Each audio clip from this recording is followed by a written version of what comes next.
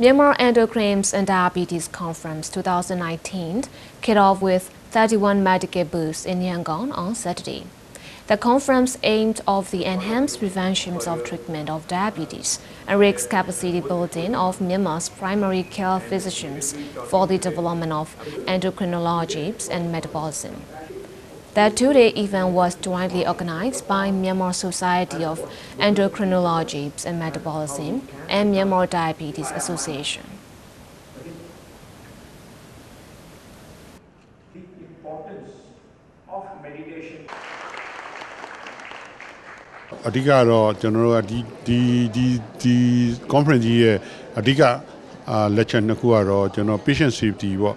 We also aim to update the therapies used by Myanmar's primary care physicians for the various diseases of endocrine and diabetes based on the international latest medical trends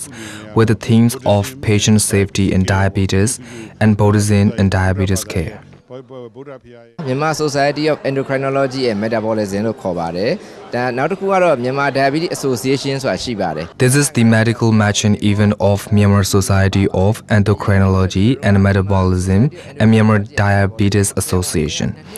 Both local and international top medical experts will share their experience and knowledge on endocrine and diabetes at this event.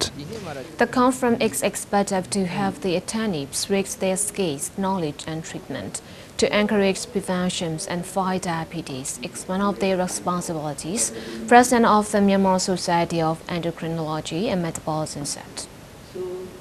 now they are facing with the အဲအားလုံးကတော့ဒီစီချိုသွေးချိုကိုအကောင်းဆုံးကုသပေးနိုင်ဖို့လိုအပ်ပါတယ်เนาะ We have to fight the disease diabetes. Primary care physicians need to use the latest sophisticated medical techniques as their techniques change. I mean, we need to update our therapies. Diabetes is one of many endocrine diseases. Here, we will also talk about the endocrine diseases. According to 2014 survey, in Myanmar, 10.5% of women between the age of 25 and 65 have diabetes.